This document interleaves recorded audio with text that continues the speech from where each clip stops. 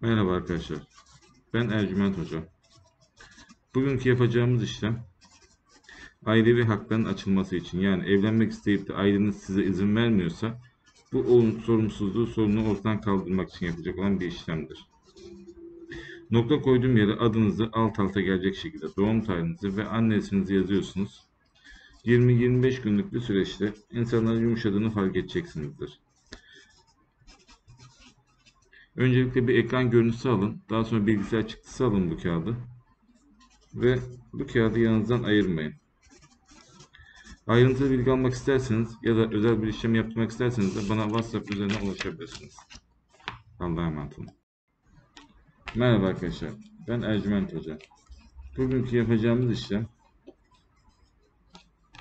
eklem romatizmaları için yapılacak olan bir işlemdir.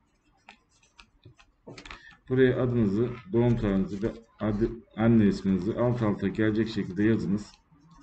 Bu kağıdın ekran görüntüsünü alıp bilgisayar çıktısı olarak alalım. Ve kağıdı yanımızdan ayırmayalım. 20-25 günlük bir süreçte her şey tamamıyla yoluna girecektir. Ayrıntılı bilgi almak isterseniz ya da özel bir işlem yapmak isterseniz de bana WhatsApp üzerinden ulaşabilirsiniz. Allah'a emanet olun.